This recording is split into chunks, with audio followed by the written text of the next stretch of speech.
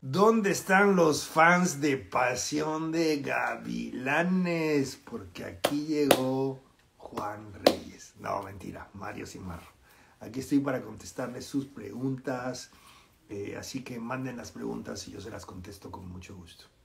¿Qué va a pasar esta noche? ¿Qué va a pasar después de esta noche? Una pregunta que hicieron fue, Sí. ¿van a terminar Norma y Juan separados? Es que pobrecito Juan, miren cómo lo trata Norma, lo cachetea delante de sus hijos, no le hace el amor, lo tienes atendido, se pone a coquetear con ese extraño que acaba de llegar. Así que, ¿qué va a pasar? Imagínate, le toca hoy a Juan besar a nada más y nada menos que a Rosario Montes, el símbolo sexual de la primera temporada el símbolo de la segunda temporada. ¿Va a terminar con Norma? ¿Por qué hizo eso Juan? Bueno, como acabo de contestar, lo vienen tratando mal, lo desatienden, no le hacen el amor, se ponen a cojetear con lo tiene muy desatendido, la presión que debe sentir Juan en su vida ahorita es tan, tan intensa, él está, ya lo conocen, enamorado hasta los tuétanos de su mujer, orgulloso de todo lo que le ha dado, casa, hijos, negocio próspero. Entonces, este, que además vea a esta lagartona, como dice, dicen en México, cuando vean a esta lagartona usando de su chamaco, yo creo que a Juan ya se le van, este, eh, los fusibles y, y, él trata de proteger al chamaco y poner en su lugar a esta señora, ¿no? Desafortunadamente para él, lo cacha la esposa, eh, ve la situación y bueno, ya cambia la historia para siempre, ya, ya, ya a partir de ahora, híjole, ¿seguirán juntos? ¿Qué tiene de diferente el Juan de la primera al Juan de la segunda temporada? Bueno, un chorro de arrugas. Pasaron 25 años. Este tiene tres hijos hombres, pero es un tipo muy orgulloso, lo han visto, muy orgulloso de todo lo que le ha dado, de, de, de lo que ha demostrado a su suegra que lo odiaba. Este, le demostró que él, a pesar de que él no tenía talento, para, para, estudios y para cosas, que su, su, su, su, vocación era trabajar con las manos, con los animales, con esas manos y con esos animales le dio una casa, le dio un negocio próspero, le dio tres hijos sanos y, y saludables a su mujer, la adora hasta los tuétanos. Este, eh, eh, ¿Cuál era la pregunta? ¿Qué, ¿En qué es la diferencia de Juan de la Ah, la diferencia, sí, la diferencia es que pasaron 25 años y él está, él está, él está ya más, más, más maduro, más, más, más enfocado. Ahora lo, lo que están viendo es enfocado en cómo resolver todas estas cosas para mantener esta mujer satisfecha, feliz, hombre. O sea, que no ande ahí de ojito feliz con cada galancito que aparece. Estamos un poco decepcionados porque el amor tan grande de Norma y Juan se va a acabar yo también cuando lo leí pensé exactamente igual que ustedes. Estoy muy decepcionado con todo esto, que el universo, Dios, el karma o los escritores pusieron a estos personajes entrañables. Definitivamente no vale que terminen así. ¿Qué es lo que más te gusta y te identificas con Juan Reyes? Eh, su honestidad, su ética, el amor a la familia, este, eh, la forma en que, en que, en que él, este, él no da por hecho ni su, su, su, su, relación de pareja, el amor que, que siente por esta mujer. Juan es ese tipo de hombre que ve a su esposa, a su mujer, a sus hijos, a su familia como la plantita y la flor que todos los días hay que, que, regar, hay que echarle su agüita, hay que atenderla. Ese es Juan y yo me identifico mucho con eso porque así, así, así debe ser. Así lo vi en mi casa, mi mamá y mi papá eran así. ¿Cuál, cuál es tu hijo favorito? ¿Cuál es el hijo favorito de Juan? Bueno, ya él ha demostrado que él no tiene favoritos, o sea, él no tiene favoritos este, y, está muy conflictuado también. Imagínate, el universo, Dios el karma, o estos escritores pusieron a todo este torbellino de cosas que pasan con este este hombre tan bueno? ¿Cómo es posible que él tenga y le esté pasando esas cosas con esos hijos? Eh? ¿Cómo?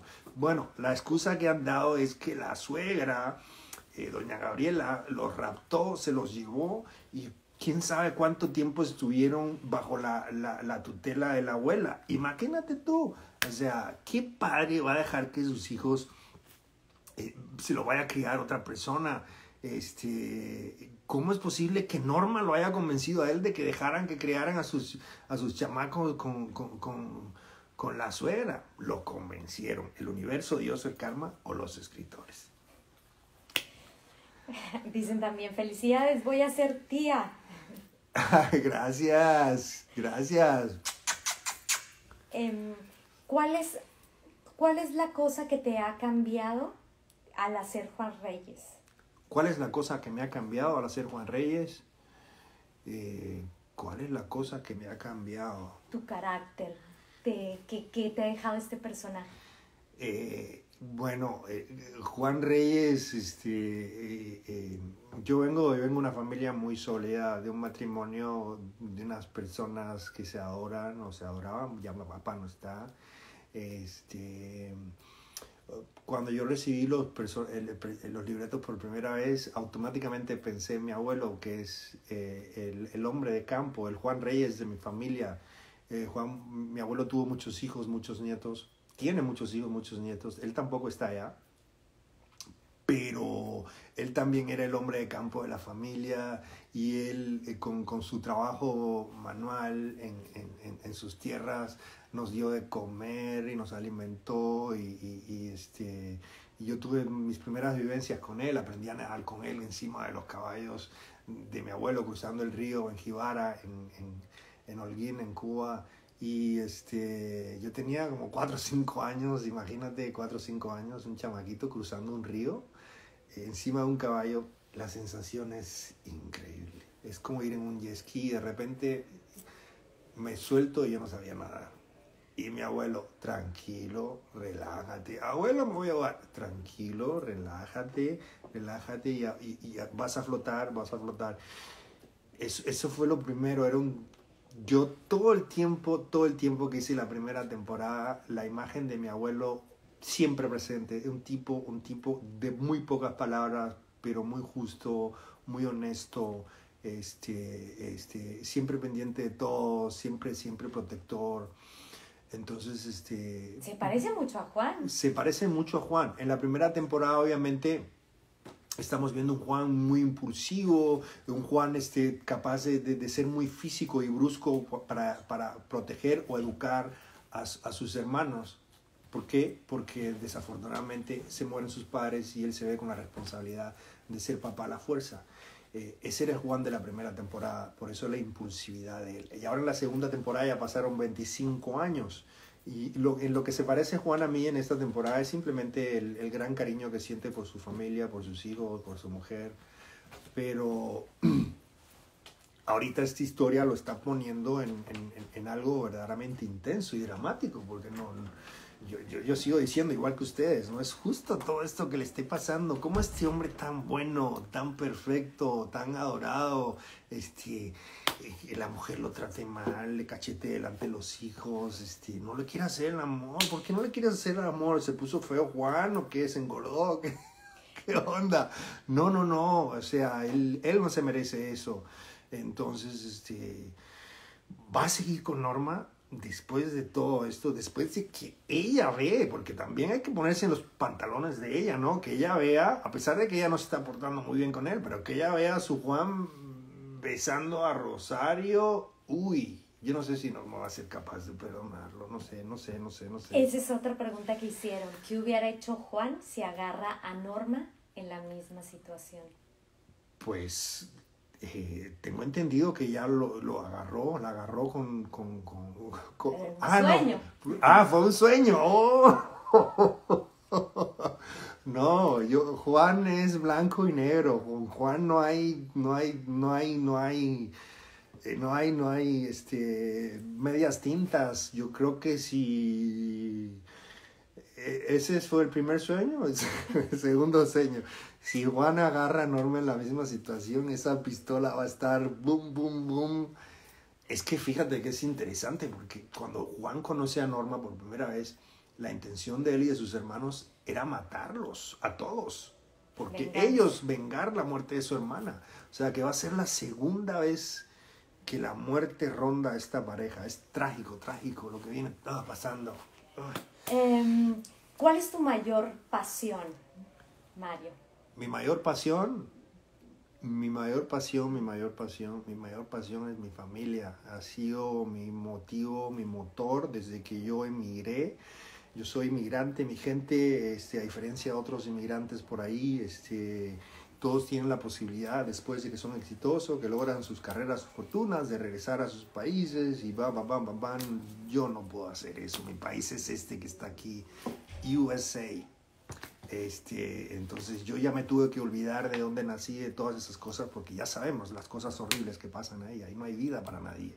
Entonces, este, este es mi país. ¿Y cuál era la pregunta? ¿Cuál es tu pasión? Mi pasión es mi familia. Ese es mi motor. Mi motor es mi familia, mi mamá, mi hermana, mi mujer y ahora mi chamaquito que ya viene en camino. Ese gavilancito, ¿qué heredará de ti? ¿Qué es lo que te gustaría que heredara de ti y qué no? ¿Qué me gustaría que heredara de mí? O sea, mm, eh, el positivismo, eh, que yo a su vez lo heredé de mi mamá. Mi mamá ahorita mismo está pasando por, por una, una, enfermedad muy dura y muy difícil y su espíritu no se ha ido. Ella es una persona muy dulce, muy positiva y a pesar de que ha hecho tanto estrago el Alzheimer en su memoria, ella la sonrisa no se la quita nadie a mí me han pasado también cosas duras y difíciles y, este, y tampoco han logrado quitarme la sonrisa ni me la van a quitar. Yo quisiera que mis hijos heredaran todo esto que viene eh, eh, por herencia y en los genes de mi familia, que sean muy, muy positivos en ese sentido. Y que no heredaran. Pues tengo un dedo gordo ahí en el pie que de repente de un día para otro se puso gordo porque todos mis dedos eran flacos. Entonces yo ahí viendo, lidiando con ese dedo, espero que no lo, no, no lo hereden. Muy bien. ¿Cuál es tu personaje favorito en Pasión de Gavilanes aparte de Juan Reyes? Mi personaje favorito de, de Pasión de Gavilanes eh, eh, era la historia de tres hermanos y de tres hermanas de diferentes clases sociales que se encuentran en una circunstancia muy dura, difícil y, este, logran vencer todos los obstáculos de diferencia social y se enamoran y tienen una familia. Pero más que nada, mi, favorito de todo eso, más que ellos y ellas, era que la historia, era la historia de estos tres hombres. Eh, yo extraño mucho eso, lo extraño muchísimo. ¿Por qué? Porque los hombres en, el género de telenovela siempre ha estado relegado, siempre las historias se basan en, las heroínas, en las, mujeres y, este, y esta historia de Pasión de Gavilanes 1 nos regaló a nosotros los, los varones la posibilidad de conectar a estos hombres con el público masculino. Mi gente, si el esposo, el novio, se sienta en la casa a ver una telenovela o una serie, todo el mundo mira, pero ¿por qué papá está viendo esa novela? ¿Eh? Es, es, difícil hacer sentar a un hombre a ver una telenovela. Pasión de Gavilanes logró eso. Era una historia de tres hombres. Eh, ese, ese, e, e, esa, esa parte de Pasión de Gavilanes es mi favorita, más que los personajes en sí. Mucha gente te admira y algunos hombres se toman como ejemplo qué responsabilidad has sentido de, de eso.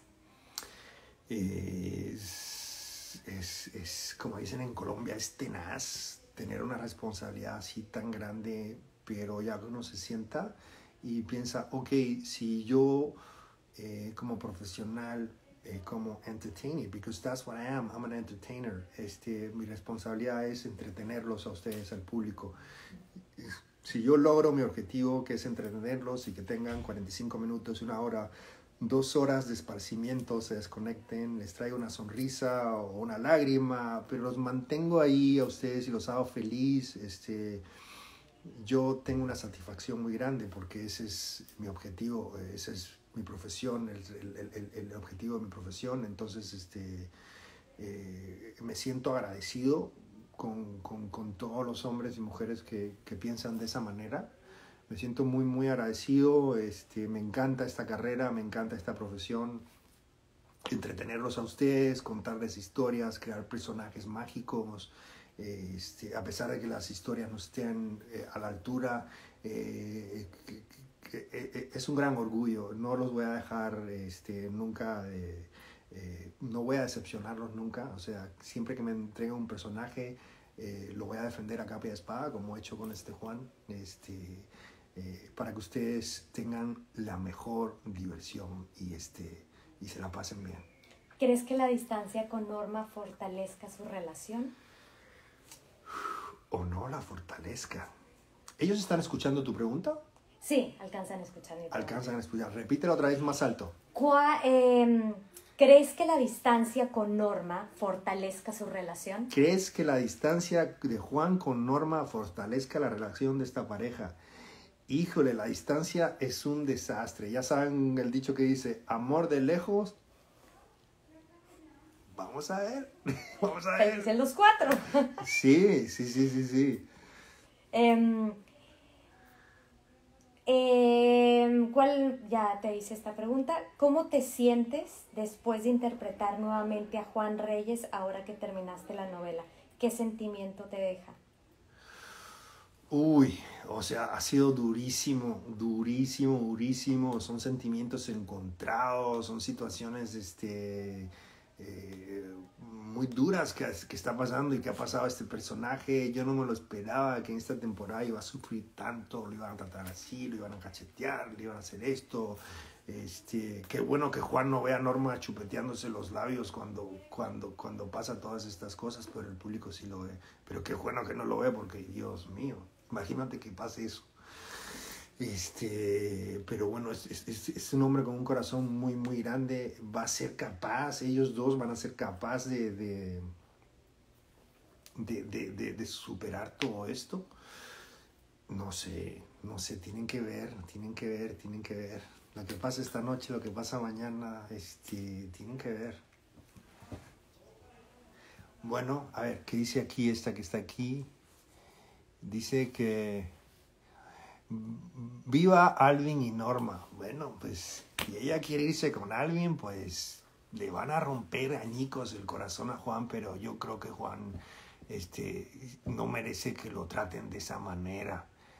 Este, manda besos a Argentina, besotes Argentina. Uh, others uh, is aquí. Eh, and 60 others and uh, saludos este Juan y Norma junto no la veo más. Sí imagínate.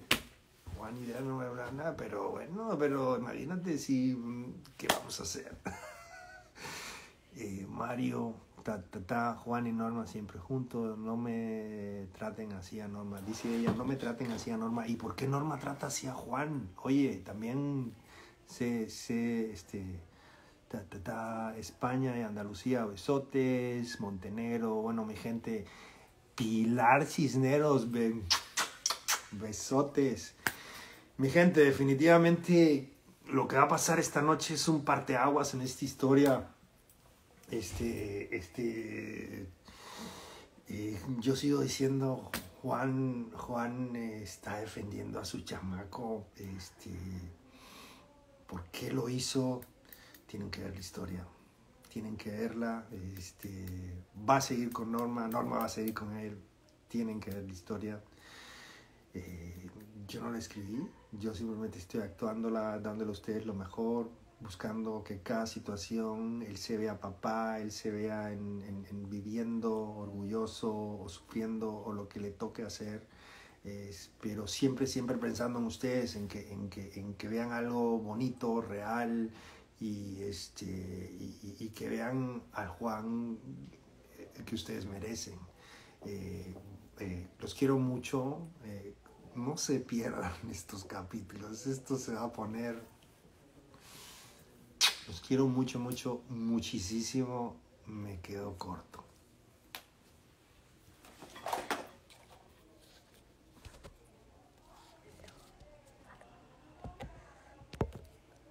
Uy, no